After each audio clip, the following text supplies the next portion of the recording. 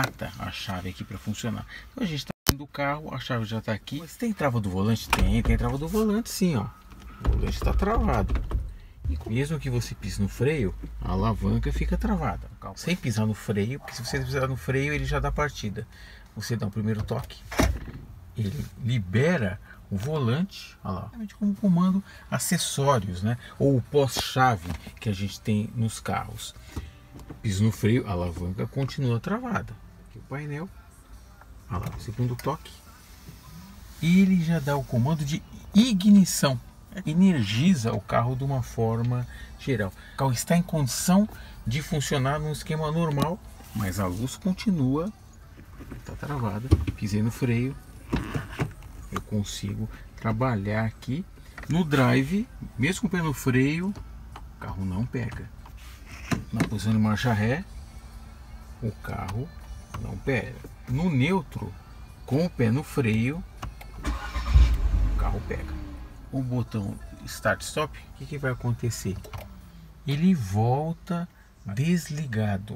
O piso aqui no freio, ó, ele acende a luz verde. Significa que se eu apertar o botão, mesmo nessa posição, o carro vai dar partida.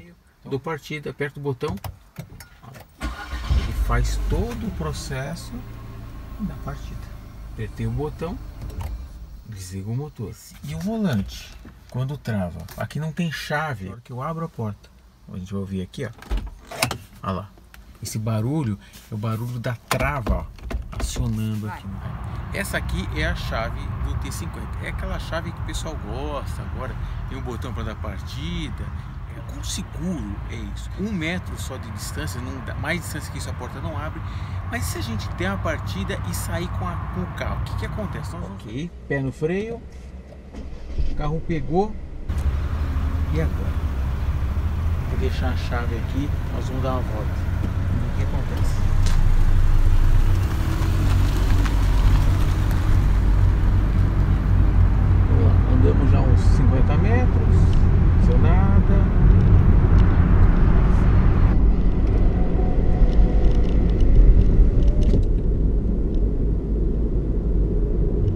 500 metros.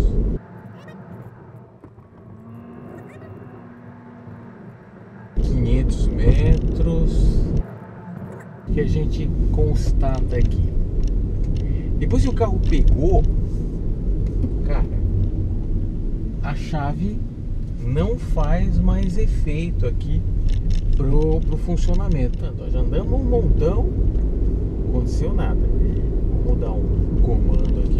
start-stop para que ele funcione. A chave está ali na frente esperando a gente tentar parar um pouco antes, vamos ver se, se entra aqui no start stop.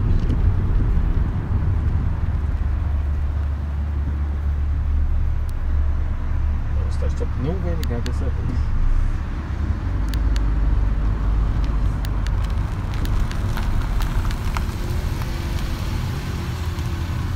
Não desligou, então vamos colocar no parking e vamos desligar o carro.